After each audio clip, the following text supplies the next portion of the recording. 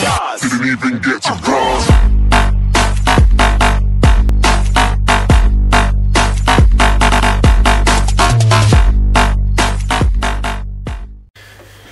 Hey Freunde, wir kommen heute zu einem Test der Blackbox Böller XL von Blackbox. Habe ich glaube schon gesagt am Anfang, ist ja auch egal. Ähm, was mich hier jetzt so extrem stört, muss ich mal ganz ehrlich sagen. Vielleicht guckt ja jemand mal von Blackbox zu. Ich hätte gern mal eine Frage. Und zwar, was habt ihr euch eigentlich dabei gedacht, einen Böller oder einen Premium-Böller, wie ihr sagt, äh, rauszubringen? Ähm, vorne mit Tonerde, okay, das ist halt üblicher Standard, sage ich jetzt mal.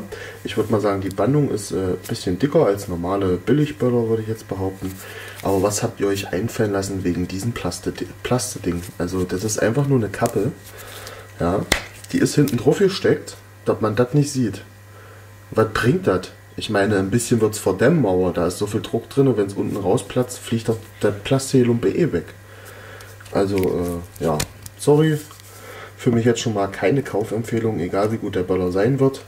Lasst die Plastefropfen weg, macht Papier drin, was weiß ich. Dann würde ich mal sagen, gehen wir gleich mal raus zur Zündung. Ich mache vorher die Plastefropfen ab, also wundert euch nicht, dass die dann gleich bei der Zündung fehlen. Also bis gleich draußen zur Zündung.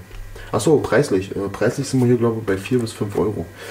Das habe ich jetzt gerade momentan bezahlt. Ich weiß nicht, was ihr bezahlt. Ähm, ich glaube, ich habe sie so bestellt bei Pyroland. Also Freunde, bis gleich draußen zur Zündung. So, machen wir jetzt hier mal noch die Blackbox, hier diese angeblichen Premium-Böller. Ihr wisst ja, was ich davon halte. So. Blackbox Tonschleuder.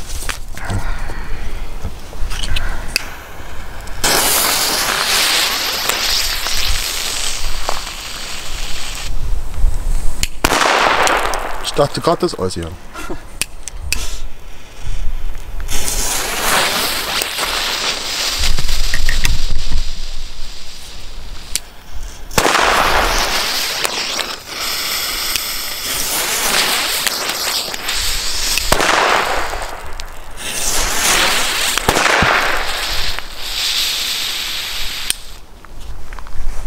Der ist auch aus. Hm. Ja, also Verzögerung ist auch ein bisschen komisch, aber naja, was soll man sagen. Also für mich, also der Knall war okay, da kann man nicht gegen sagen, aber für mich jetzt keine Kaufempfehlung aufgrund von den Plastikfropfen. Ja.